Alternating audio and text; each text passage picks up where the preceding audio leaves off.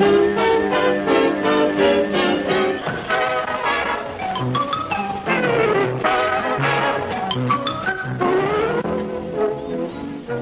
present Jimmy Clitheroe as the Clitheroe Kid with Peter Sinclair, Patricia Burke, Danny Ross, and Diana Day in Jim's Highland Fling.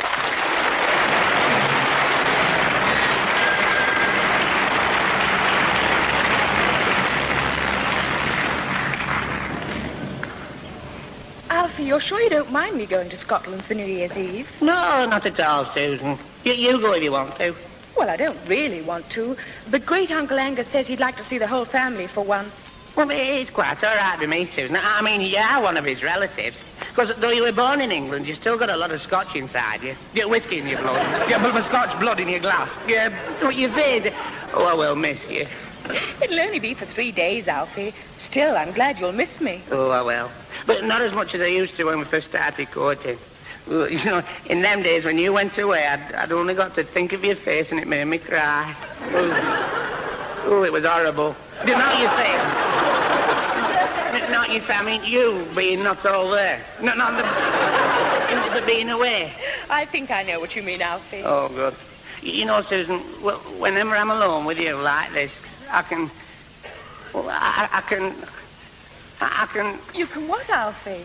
I can hear a rustling in the bushes. What? There behind your granddad's privet. Hey, perhaps it's a bird. Listen.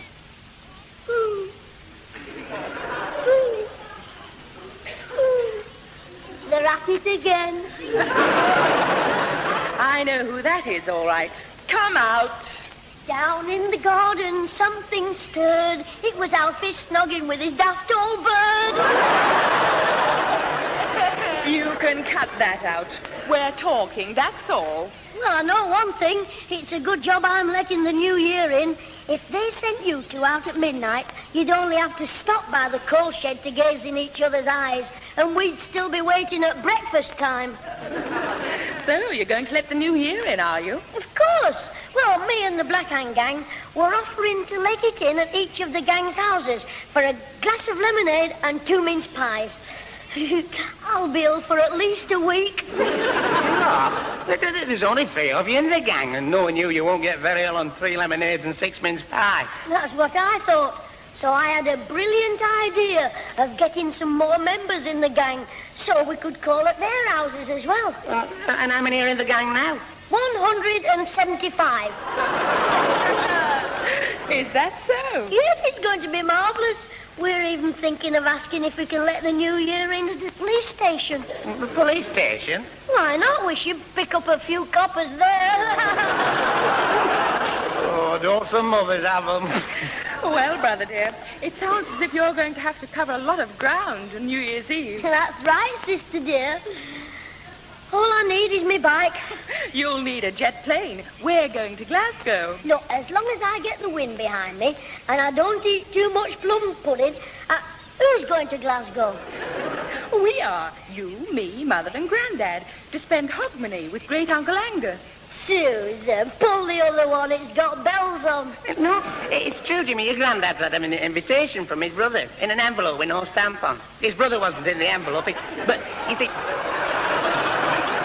He, he, he wants to see all of you, including Susan, and it'll be a big disappointment for him. But for me, I mean, and not not being with Susan. Alfie, switch your tongue off so your brains can cool down.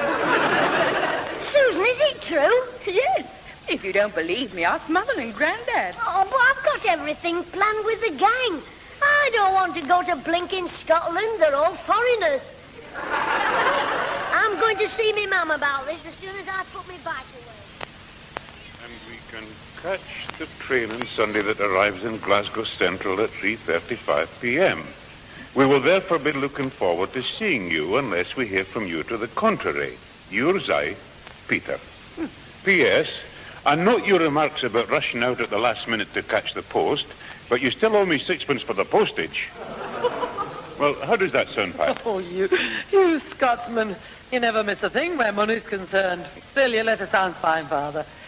Oh, I'll bet Jimmy will be surprised when he gets home. Right.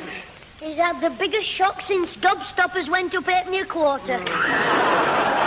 There you are. Trust you to hear what I was saying. Mum, what's all this about us going up to Glasgow for a, a mahogany?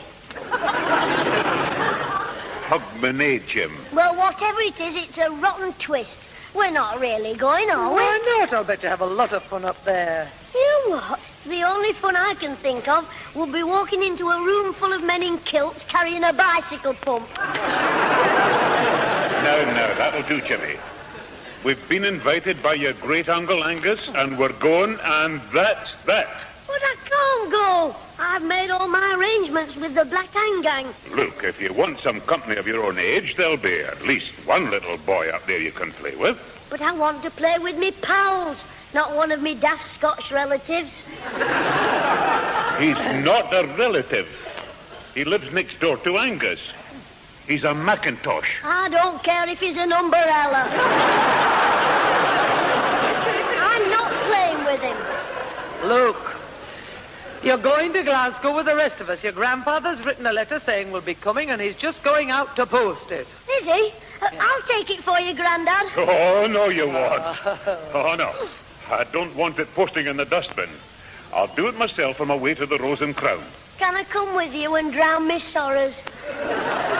Oh, stop talking nonsense, will you? It's all right for you, Grandad. You'll enjoy it, especially when you see the Loch Ness monster. What?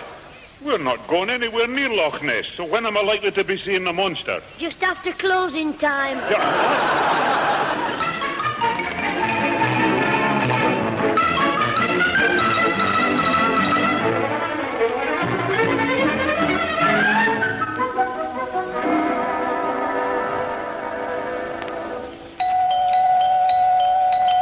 right, all right. Oh, what a life. Yes, who is it? Oh, it's the postman. Hey, you're late, aren't you?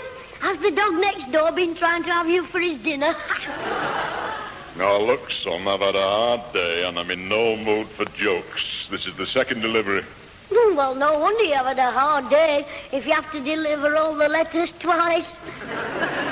Oh, very comical. You wouldn't be so funny if you had this job to do. Phew, full of aches and pains. Oh, I recognize you now. Hopalong Cassidy. Pardon? Well, that's what, what all the lads call you. You're the one with the bad feet, aren't you? Never mind my feet. Is there anybody in besides you? No, they're all out shopping. Would you like to come in for a mustard bath? Look, you're sure there's nobody in except you? Oh, I've told you. Oh, that's a pity. Well, in that case, I suppose I'll have to get your signature. Well, all right, but won't you get into trouble? What for? Collecting autographs instead of delivering the post. Oh, you funny little boy. you know, if you were my lad, I'd take you down to the post office, lock you in the mailbag, and hope for a robbery.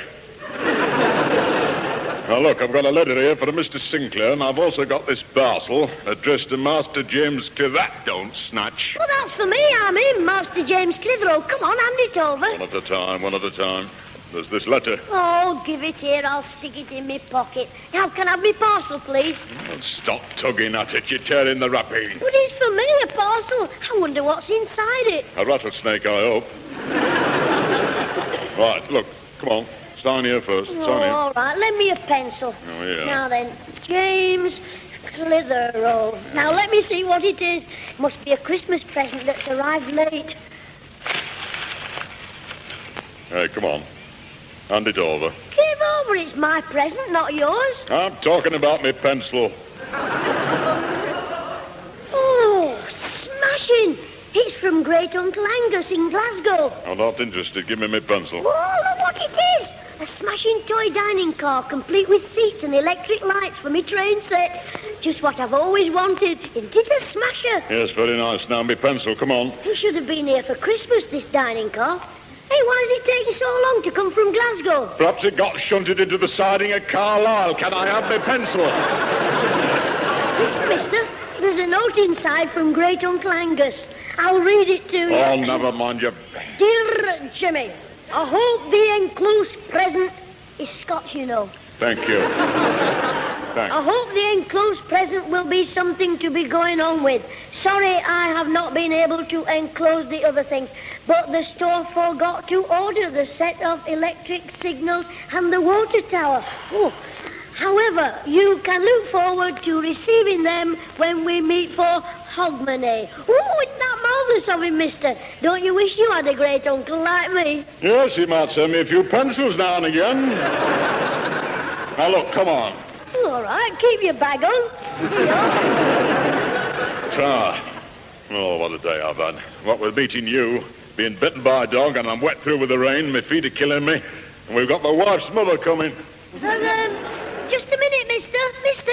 Oh, it's enough to drive you around the bend. What, what is it now? Happy New Year. God.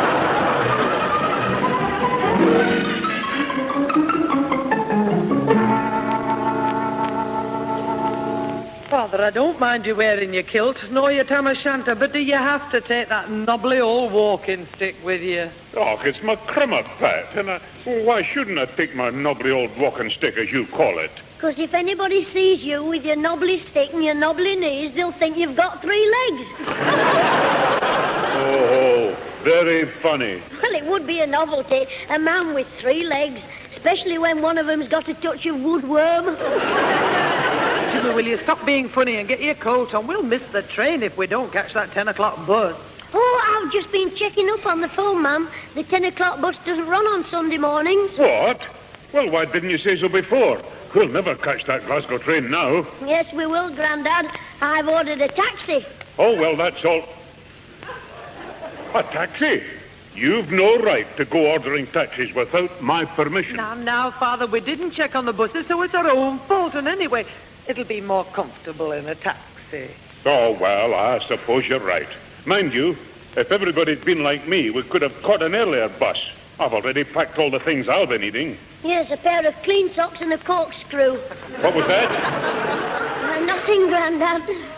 Ma'am, have you packed your things yet? Oh, I can't seem to find any more room in this case. Now, what's in this cardboard box? Let me see. Oh, no, Jimmy, what's this? Just a few things for me to play with, Mum. A few things. There's your yo-yo, your catapult, your water pistol. Water Uh, what's it- pistol? That's me death ray gun. Oh, What do you want to take that to Glasgow for? This is my secret weapon, Jim's answer to the bagpipes. Well, you can just take your box of tricks out of that case and put it back in the front room drawer. But, Grandad, I've got to have some fun. Don't argue, Jimmy. We haven't got room for all that lot, no. Go on. Just put them back in the front room. Oh, all right, Mum. And if Susan's still in there with Alfie, tell her to hurry up. you? Right, ma'am, we'll go. Trust the lovebirds to spend the last few minutes together in the snogging room. Wonder what they're up to in there. No use wondering, Jim. Just listen at the keyhole. Now, have you got everything clear, Alfie? But yes, Susan, I- I've got to phone you tonight if you don't phone me first, and tomorrow and Tuesday as well. Give us a kiss. Hello, the wrestling match is about to start. Two falls or one submission. And you know what Mother asked you when she gave you the key to the front door, Alfie? But yes, Susan, every day I'm going to come round to your house and set fire to it. Got me light a fire on my motorbike. Be in the grace. I mean, oh, give us a kiss. Alfie, I'm in a hurry. Ah, so am I. Give us a kiss. That's three times he's asked her. He must have had his porridge this morning. Alfie, we've got to get down to the railway station. Yeah, well, well, I- I'll come with you and you can kiss me on the platform. Alfie, I couldn't. Not with all those people about. Well, take him in the guard's van. He'll feel at home there with all the other fish. What do you want? Come on, Scraggy Neck. We've got to get on our way to Glasgow. All right, I'm coming. Good. Well, uh, cheerio, Alfie. I'll, I'll send you a postcard. Having a wonderful time. Glad you're not here. You know, well, you've changed your tune all of a sudden. haven't you? I thought you didn't want to go to Glasgow. Oh, he didn't, till he heard about the presents he'll be getting from Great Uncle Angus. Honestly, the things some children will do for a few silly toys. It's nothing to what some daft grown-ups will do for a few sloppy kisses. You've been listening at the door again, haven't you? Yes, and I nearly went out and bought some birdseed. Birdseed? what for? For you. All I could hear was, give us a kiss. Give us a kiss. give us a kiss.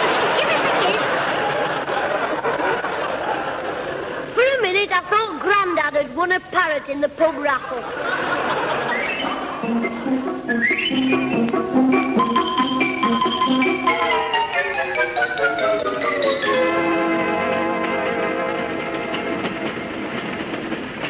Grandad, Mum, come up here. I found a compartment. Oh, thank goodness. Right, Pat, you go ahead. Come on, Susan. Here we are, Mum. This one. There's only one old fella in here, and he's asleep. Oh, what a relief. I thought we were going to have to stand all the way to Glasgow. Yes, it's lucky I was with you. You what? If we hadn't had to turn the taxi around to go back for your overcoat, we'd have been 20 minutes earlier. Yes, we'd have had no trouble in finding seats. Well, you'd have been all right anyway. There's a cattle truck at the back. That's enough. Now, come on, open the door. Right, Mum. Oh. We better put our stuff on this side. The old chap there's filled up the other rack. That's one. Give me the other things. Here, Father. I can manage myself. It's not very heavy. Jimmy, give me your carrier bag with the food in. I'm not trusting you with my apples. I'll put the bag on the rack down this end. You can't reach. I can if I stand on the seat. There's room here above the old fella. Oh, my leg! What are you doing, you wee devil? Sorry, mister. I, I thought I was standing on the seat. Oh, Jimmy, Jimmy, you're the limit. I, I'm sorry, sir. He, he was trying to put something on the rack, you see. Yes, the, the, the bag with me, me, me apples and... Oh, heck, look out. Oh, my head! Are you trying to kill me? Oh, young boys today are nothing but ruffians, ruffians, hoodlums. Aye, no discipline, no respect. When I was your age, I was seen in that herd. I was never allowed to speak in front of my elders. Ah, well, you're making up for it now.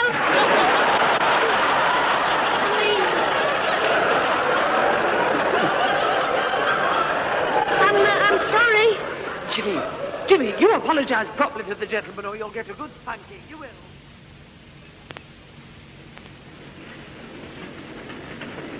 Hey, Susan. Aren't people funny when they're asleep? Keep your voice down or you'll wake them. All right, but look at them. Mum's head rolling about like a puppet. The old fella in the corner with his chin in his hand. He keeps slipping an inch at a time. Ain't one little push on his elbow and he's had his chips. Don't you dare. I'm not touching him. Hey, look at Grandad growling away with his mouth open. He looks like a walrus waiting for a fish. Tickets, please. May I see your tickets, please? Oh, oh yes, uh, just a minute. Um, Father. Father, the, the tickets. Hmm? What's that? Tickets. Oh, the tickets. Ah, Thank you very much, sir. Thank you. Straight through, no change. Are we nearly in Glasgow, mister? No, no, no, no, Sonny. Uh, another three hours. Not even in Scotland yet. Oh, heck. Hey, you'd think we were in Scotland, though, when you look out at the fields, wouldn't you? Oh, why? Well, all those cows. Everyone's got its own set of bagpipes.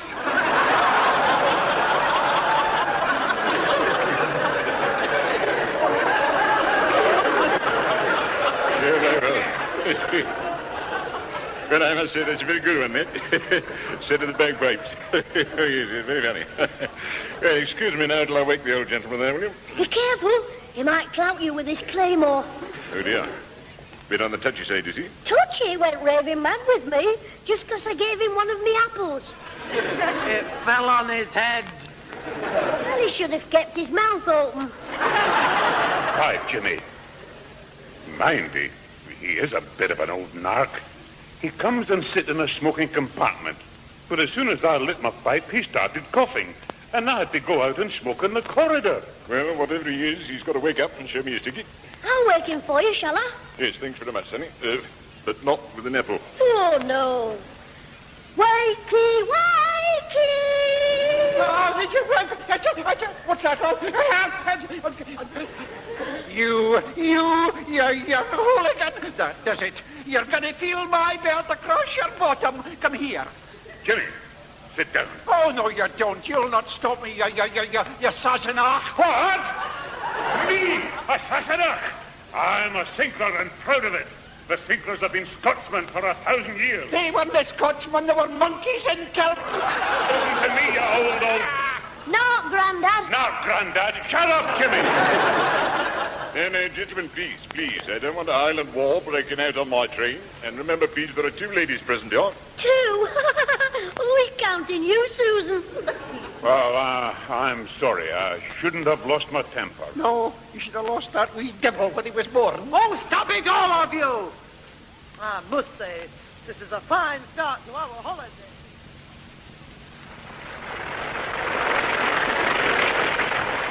I must say this is a fine start to our holidays, coming all the way from Glasgow to get a dose of English pneumonia. Now, now, Angus, don't go upsetting yourself. You'll bring on your indigestion. No doubt your brother Peter has a good explanation. Don't go upsetting yourself, the woman says. Yeah, I drive all the way from Scotland. I haven't eaten for six hours. I arrive punctually at my brother's home, and there's not a soul in the house. But I've been through just as much as you, Angus. But these things are sent to try us. Hello, did you want something? Can I help you? Not unless you know how we can get into this house. We've been knocking for ten minutes, and there's no answer. Ah, well, that's because there's nobody in. Flora, my dear, this is what they call an Englishman. Oh. No wonder they daren't give us home rule. Now, now, Angus, you will have to excuse my husband, young man. He suffers with his stomach. Oh, I didn't hear anything. what, what, what do you want the clinical stuff? We're relatives of Mr. Sinclair, and we've come here to stay for a few days. Oh, well, well, why don't you go in out to the rain? You might catch cold standing out there. You daft, come on. Now, now, Angus, uh, the door is locked, and we have no key. Oh, I see. Well, no wonder you're cross. That like my Auntie Maggie was when she got married and we all stood in the rain and we couldn't get in the house for the reception because Arthur had the key and he was late. Arthur was Auntie Maggie's son. It's to her first husband. He gave her away. But Arthur, not her first husband. And she got soaked, so she hit him with a bouquet and he left home. that, not, not her first husband, that Arthur. So ever since that, they've kept it under the mat. Kept what under the mat? The bouquet, Arthur, or Aunt Maggie's first husband? No, the, the door key. Yes, yes. Well, there is no mat here. Oh, no. No, the Clitheroes keep theirs in the tool shed round the back. Well, why didn't he say so before? I'll go and get it, Flora. Yeah, it's not there. How do you know? Because I've got it. You what? Now, now, Angus, young man, would you please open the door? Yes, of course I will. Ta then. I can't stand any more. Will you open the door, you blithering stupid halfway? Now, now, Angus. Here is the key, but I haven't got it. I, well, I have got it, but not here. I've, I've got it there at home, so I'll get it. Ta-ra. Wait till Peter gets here. I'll have something to say to that brother of mine when I... I'll have something to say to that brother of mine when I see him. The house locked up, and us stuck outside here in the snow. Are you sure you put the correct date in the letter, Grandad? Of course that did. And the time of the train. Your mother read it. Oh, yes, there was no mistake. Oh, it really is too bad of him and his wife both being out when we arrive. Oh, Father, we must do something. It is perishing. We passed a pub round the oh. corner, Grandad. Why don't you go in there and look for him? What makes you think he'll be in a pub? Well, he's your brother. I mean, a Scotsman, I mean. Will you cut out your jokes? This is serious. Oh, you poor things. You're not trying to get in that house, are you? No, we're playing leapfrog. You want a game? Be quiet, Jimmy. Uh, we're relatives of Mr. Angus Sinclair, and we've come up to stay for a couple of days. Oh, well, I'm afraid you're unlucky. Mm-hmm. The house has been inches deep in water, so they've gone away. Where have they gone? To buy a roof. I don't understand, Mrs. Well, they had a burst. Uh-huh. The place was flooded, so they've gone away for Hogmanay. I promised to light fires for them every day till they get back. Next Tuesday or Wednesday it'll be. But they asked us for Hogmanay. I was going to let their first boot in tomorrow night. Uh, Luke, would you like to come into my house for a warm and a cup of tea? Or maybe a wee drop of whiskey? Oh, thank you very much. Well, Father, what are we going to do? Well, we'll just have to go back home in the next train. uh, after we've had a wee warm in this good lady's house. Uh-huh. Not to mention a wee drop of whiskey. To think we had all this journey for nothing. Aye, and all that money wasted. Yes, and all that talk about the good time we'd have had. All right, all right, I'm sorry. Where are we going for our summer holidays, Grandad? A day trip to North Africa?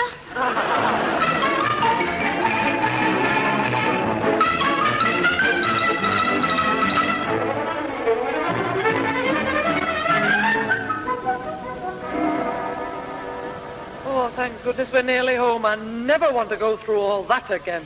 When you come to the end of the perfect day. All right, all right, we can do without that. We've suffered enough today. Oh, don't get on to me. We didn't go to see my daft brother. What? I, I didn't mean that, Grandad. Look, we don't want any more trouble from you. Well, it was only a joke. Well, Mum. we've had enough of your jokes on this journey.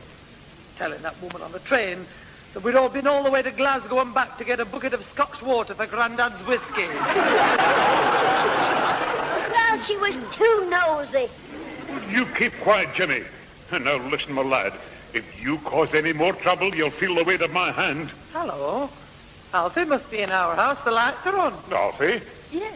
Mother gave him the key and asked him to light a fire each day while we were away. He must be crackers trusting him with a box of matches after what he did on bonfire night. What was that?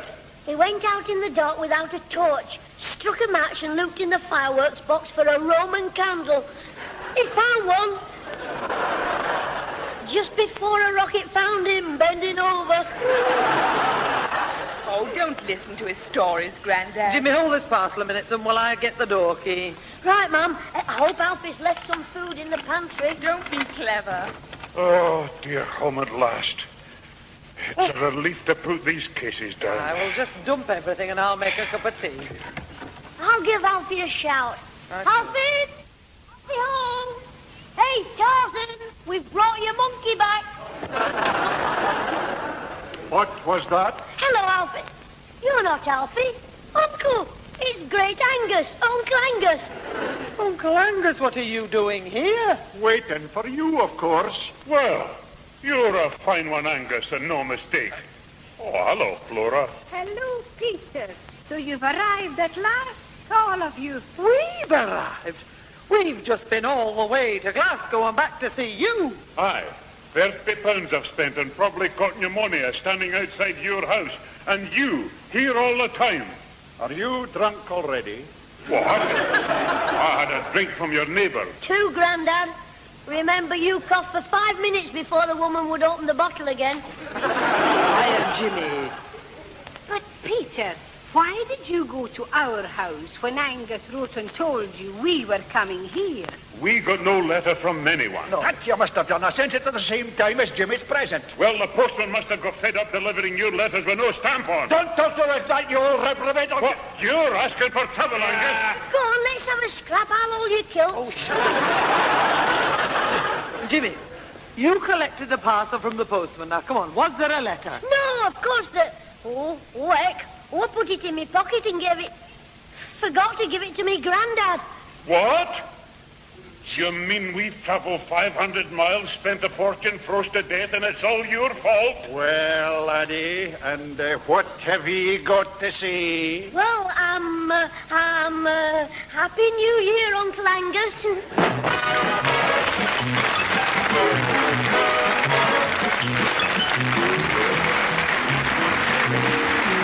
Those involved with the Clitheroe Kid this week were Peter Sinclair as grandfather, Patricia Burke as mother, Danny Ross as Alfie Hall, Diana Day as Susan, Deryck Guyler as the postman and ticket collector, John Laurie as Angus, and Molly Weir as Flora. The recorded program was written by James Casey and Frank Roscoe, produced by James Casey, and starred Jimmy Clitheroe as the kid himself.